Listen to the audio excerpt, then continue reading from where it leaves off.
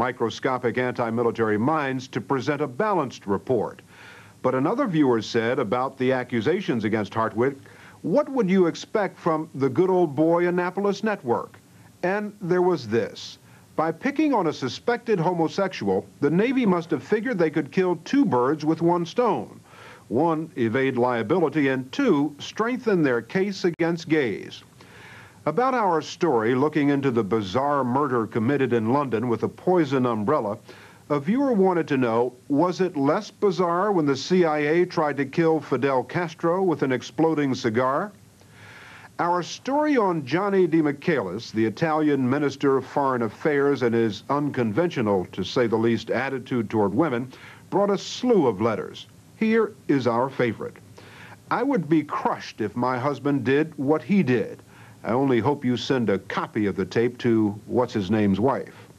Finally, two letters mystified us. The first, I am shocked that Dan Rather would call what DeMichelis does the good life.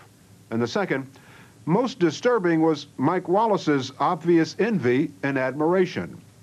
Not only did Rather and Wallace have nothing to do with Morley Safer's story, Morley isn't even sure they saw it. I'm Ed Bradley. We'll be back next week with another edition of 60 Minutes.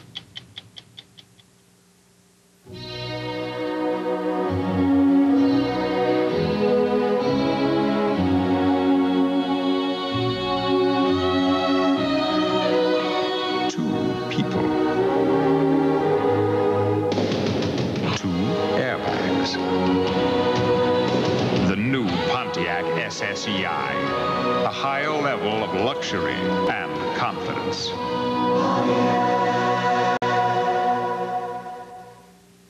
This man just finished an incredibly close and exceptionally comfortable shave with the Norelco razor. But to see how he got it, we have to go back, back to when he began to shave, not just above the skin, but below it.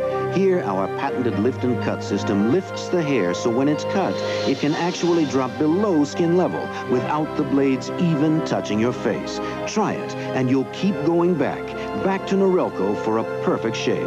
Norelco, we make close, comfortable. What you eating, Dad? Kellogg's 19. Hmm. A breakfast of 19 vitamins, minerals, and other essential nutrients. You want some? No. Some people go to great lengths to keep the great hearty taste of Kellogg's 19 all to themselves. So if you've never tried it... Kellogg's 19? Ew. That suits them fine. Kellogg's 19. Really great taste in disguise. She was the victim of a brutal attack. But what if someone tried again? Bill's neighbor decided to pick a fight. He didn't know Bill was getting it all on videotape. He knows now. People fed up and fighting back. 48 Hours returns Wednesday. Carol is back on CBS. With guests like Martin Short, Delta Burke, B.B. King, and Tony Roberts. The Carol Burnett Show premieres Friday.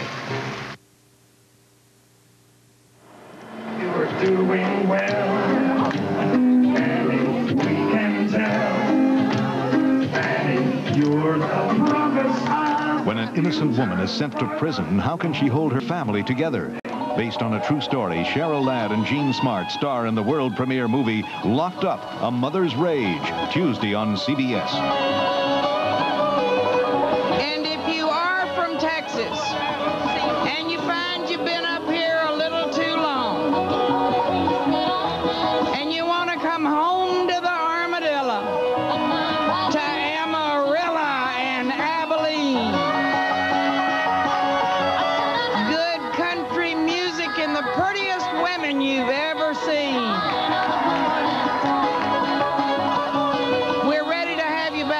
Texas anytime.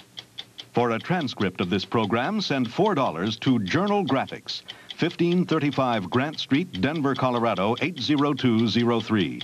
To place a credit card order, call 303 831 9000.